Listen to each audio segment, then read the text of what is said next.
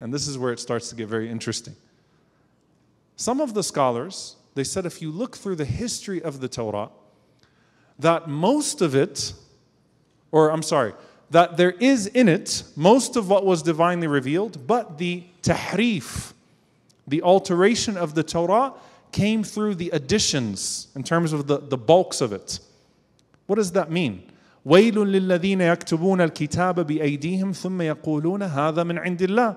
Woe to those who write the book with their hands. And they, then they say, This is from Allah. So Ibn al Qayyim rahimahullah says, when you think of the sections of the Torah that were added, especially when it comes to the stories of the prophets and things that contradict some of you know what we would see as fundamental to the law, fundamental to the legislation, fundamental to the character of the prophets, he describes this in a very interesting way that they elevated the words, think of like the tafsir of the Torah, right? They elevated some of the writings over time that were politically driven, that had agendas and things that contradicted, and they put them into the divine book. And so it broadened the Torah. And so the divine words, many of them are still there. And that's why, subhanAllah, you'll find that there are a lot of similarities. If you read the Old Testament and you read from our law, you'll find a lot of similarities, right? And so there's a lot of original scripture there.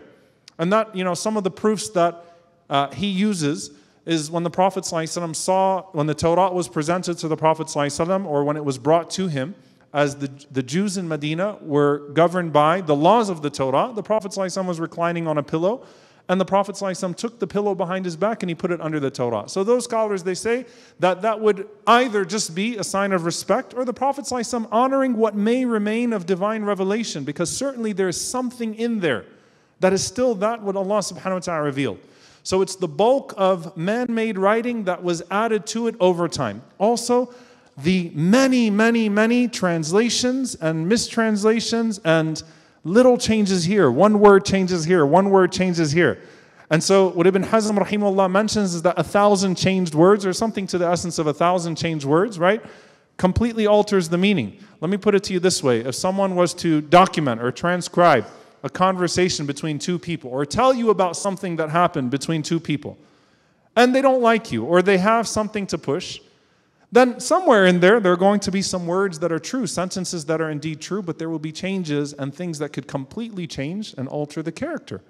So, habbatun, hittatun, Allah Azza mentions some of these examples. One word here, one word there. And then that's one form of tahrif, that's one form of changing it as well. And so, what do you end up with?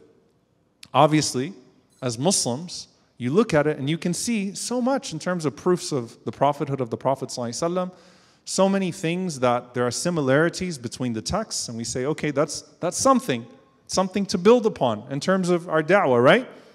But then you've got Benjamin Netanyahu calling you the Amalik, right? The Amalekites, and, and you know, the chief rabbi of Israel and these defense ministers saying genocidal craziness and using that directly to exterminate your brothers and sisters in Gaza relegating them to less than human beings and animals. You say, what is that? And I've, I've caught Muslims multiple times, which is why this is so important. I've caught Muslims multiple times ascribing to the prophets what we would never ascribe to the Anbiya. Right? We would never ascribe to Dawood alayhi salam and Nuh alayhi salam something, some of the things that are written there to be then used to the destruction of populations. And so there are additions, certainly from our perspective, there are the, the, the changes. And how do we come to terms with this as Muslims? we have to believe that indeed Allah subhanahu wa ta'ala revealed these books and that these are the greatest of the scriptures prior to the Quran. But Allah Azza wa calls the Quran what? Musaddiqan lima bayna yadayhi. It confirms, and Allah also calls the Quran muhaymin, filters, governs. So it filters out the, the, the laws, the ideas. And indeed, there are changes in legislation, but it is the ultimate filter of everything that came before it. Lastly, dear brothers and sisters, and as I said, it's too hard to give an extensive breakdown of the Torah and what it was and, and what it means for us today obviously it's important for us to acknowledge and to believe. As the Prophet, ﷺ, by the way, he even taught the Muslims in Medina that when you know the Jewish communities in Medina would read the Hebrew to obviously Arabs, right? The Prophet ﷺ would say, just say, Amanna bima. We believe in what was revealed to you and what was revealed to us. Why? Because whatever truth is there, we believe in it already. But the Quran is sufficient in terms of a sharia, in terms of a way of life, in terms of that ultimate filter, that ultimate legislation, that ultimate revelation.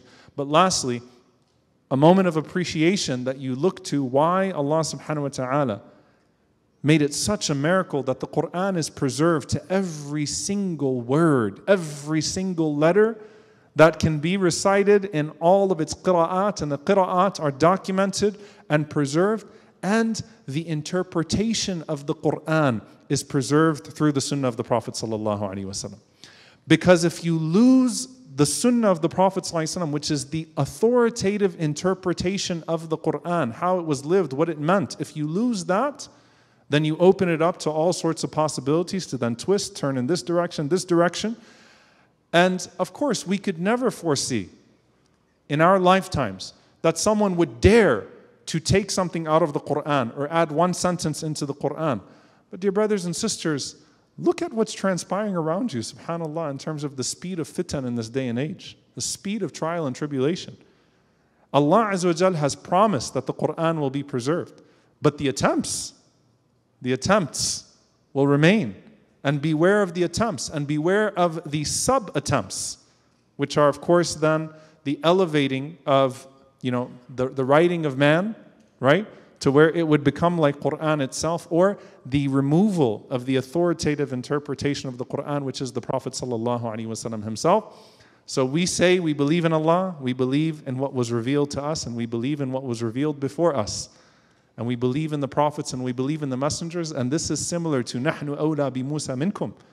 This is our closeness. We honor what was initially in those revelations. We honor those prophets.